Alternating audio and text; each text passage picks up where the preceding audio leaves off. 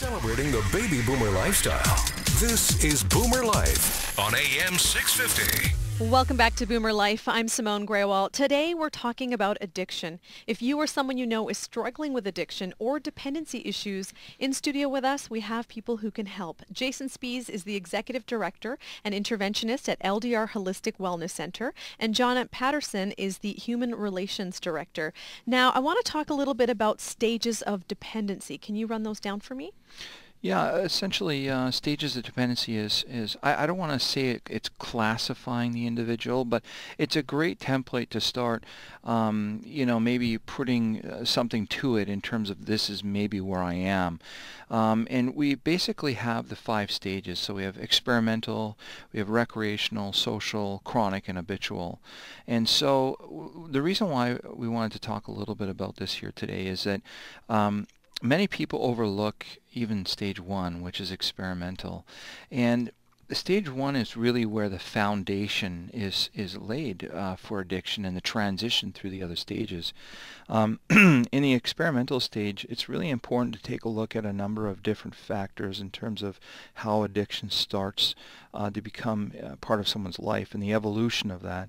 And essentially, um, one of the things that I really wanted to focus on here um, is is that in the experimental stage, when we're first introducing a drink or a drug into our bodies, uh, we're starting to have this chemical reaction. Mm-hmm. And so um, many people talk about, you know, that euphoric feeling, the sense of ease, the, um, you know, I, I, I'm out of my skin now, I'm able to be who I am, a social lubricant. And so eh, that matched with a society that really heavily inundates people with um, education actually around addiction and, you know, Budweiser commercials and, you know, camp. I mean, it's, it's woven into so many different um, fabrics um, within our culture and our society. We work hard all week. It's Friday. You know, you, you make plans with your friends. You want to have a couple glasses of wine. It's just how people Absolutely. feel they sometimes need to just release that, that energy. It's a privilege. Mm-hmm. It's it's a rite of passage. It's it's a it's a celeb- you know, celebration of accomplishment in a lot of ways. It's a stress reducer. So we have a lot of um, factors that can really play into even the progression through addiction. The other thing is, is that when you have somebody that um, essentially introduces to their body for the first time, you have a really amazing, uh, or sometimes appears to be an amazing reaction, and that is, is that I haven't been really feeling okay with myself, or I haven't had the, you know, the ability to do this in a social setting, and it's a thousand deep. I'm not going to go through them all, but you know, this is where somebody goes, wow, you know, for 10 bucks or 50 bucks or for $100, I get to feel different. And I don't only just get to feel different, I get to feel great. You know, in a lot of ways, that's that's very seductive. It's very powerful, and you know, it's really when we look at it that way, we stop taking away the shame and the guilt from addiction. Um, you know, many people fall into addiction in a very innocent way. Uh, you know, wouldn't you say, John?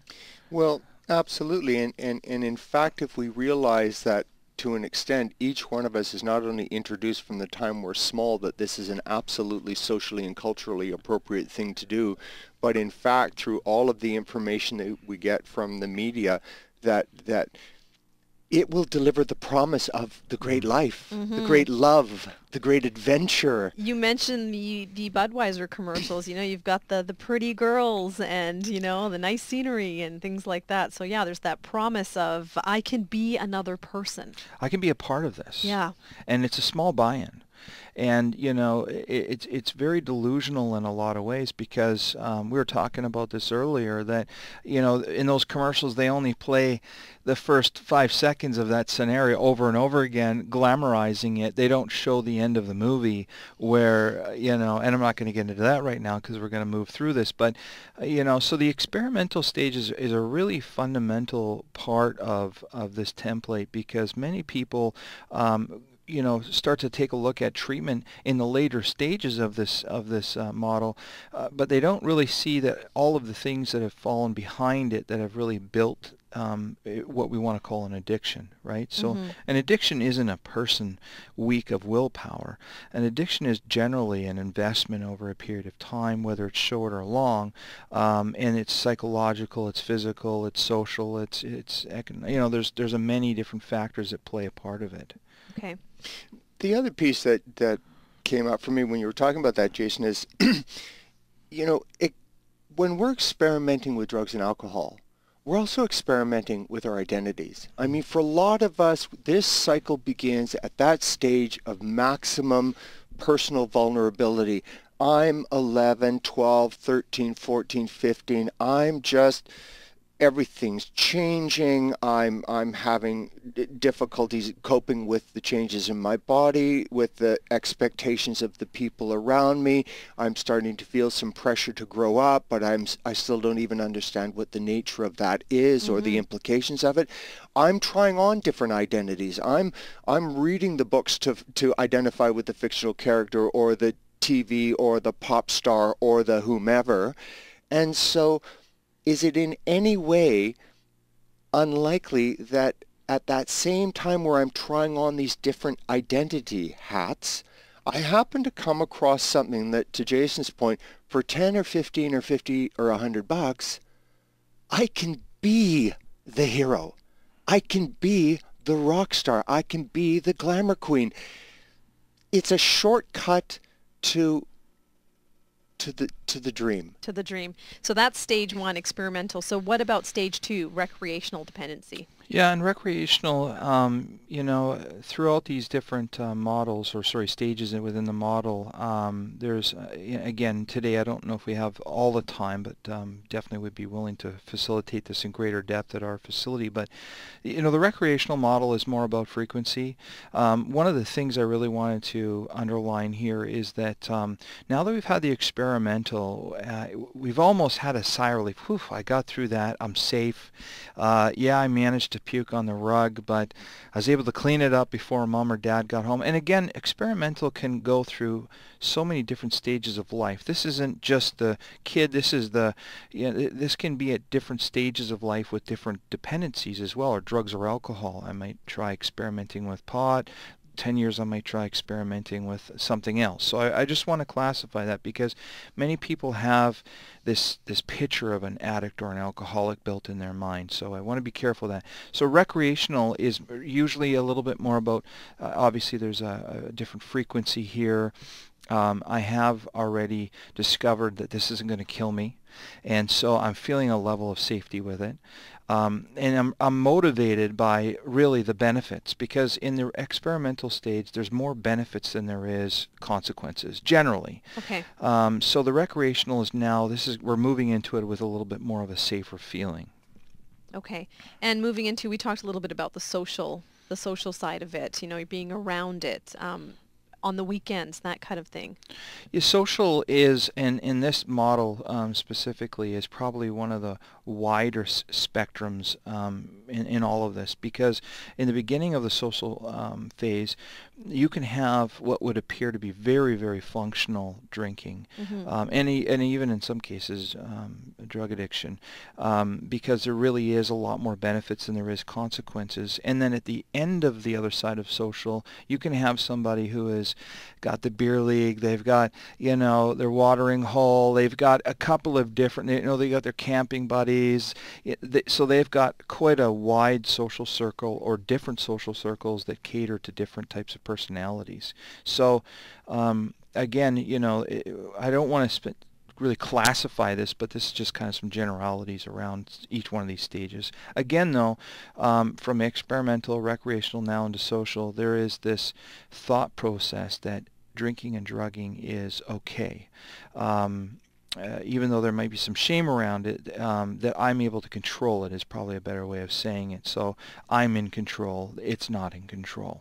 If you're just joining us right now on AM 650 and Boomer Life, we're talking about addiction. If you or someone you know is struggling with addiction or dependency issues, we've got the experts in studio. Jason Spees is the executive director and interventionist at LDR Holistic Wellness Center, and John Patterson is the human relations director. We're talking a little bit about the stages of dependency, and um, John, you wanted to you were going to jump in there. Yeah, yeah. Thanks, uh, Jason. I was just, I was just wondering, like, at, at, this social stage, is this also the stage where I believe that I can't maintain my credibility with my social group if I'm not, if I'm not doing what my social group is doing? So, you know, 20 years ago, that was, you know, all the sales guys go out and they, they, they have the, the martini lunches and, you know, there was a whole social acceptability around certain kinds of drinking behaviors.